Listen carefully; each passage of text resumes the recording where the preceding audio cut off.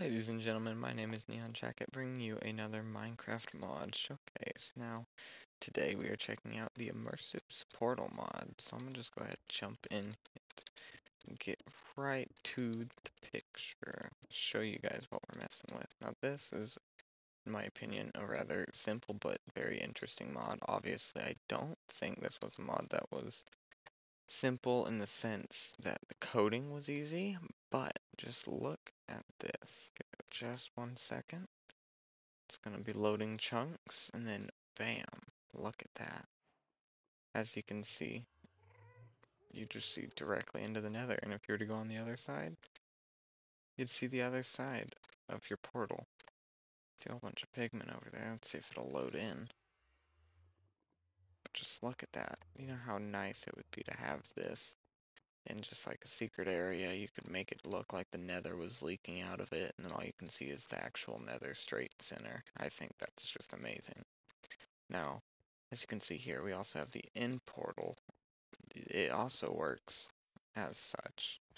You can do the same exact thing. Only issue is, and I have tested this, only issue is if you fall in it, obviously the portal is going to disappear after you fall through it. But just the fact. Big lag. Big lag, big lag. Oh, are we good? Oh, we're getting there. Look at that. See right into that. End port. You can just see right through. Now, I don't see the Ender Dragon. Pretty sure it might just be stuck on one of the pillars. Let's see not look like we can see them, but as you can see, these are very working. You can literally just flow straight in and out on either side without any actual loading. And I, I just think that's absolutely amazing. I think it's, it's just simply awesome.